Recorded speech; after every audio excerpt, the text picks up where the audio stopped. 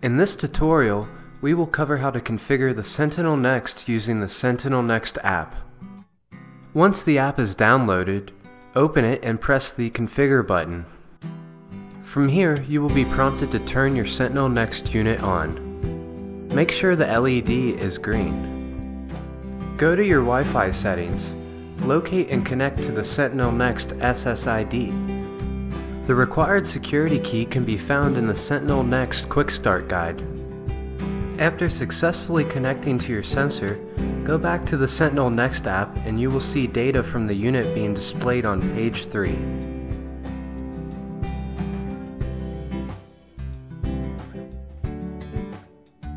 Proceeding on to the fourth page, the app will scan for available SSIDs. Select your desired SSID and manually enter in the corresponding password.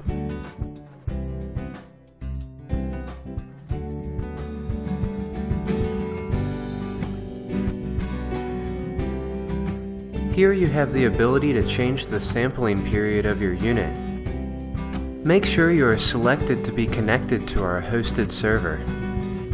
If you are a new user, you will need to register an account on the hosted server this can be done through the app or from a computer. Enter your personal information in each field including the sensor key listed on the back of your unit.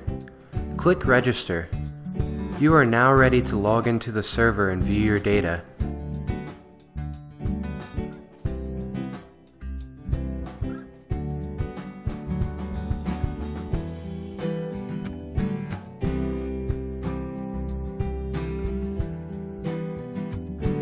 For more information, go to www.aginova.com.